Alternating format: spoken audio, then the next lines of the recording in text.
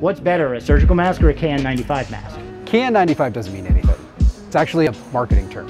There's no KN95 standard, there's no KN95 battery of tests.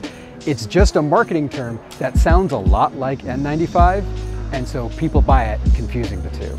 A KN95 is a knockoff, and much like a, a knockoff, like if you get a knockoff Birkin bag or something, I know you probably have one, um, they're not gonna hold up as well, right? Maybe if you opened it up, it's made of cardboard instead of the, the good materials. Didn't the FDA give emergency authorization for some KN95s? The FDA has this thing called the, the Emergency Use Authorization. And what that does is say, because there's a global pandemic, we're gonna make exceptions to our rules.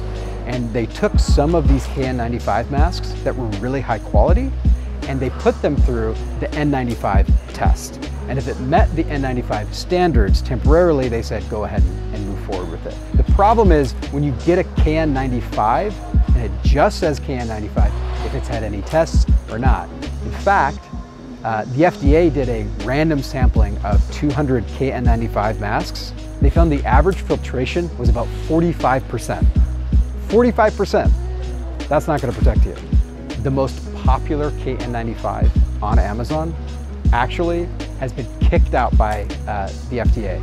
The FDA specifically said this mask is no good in the United States and it's the most popular KN95 on Amazon.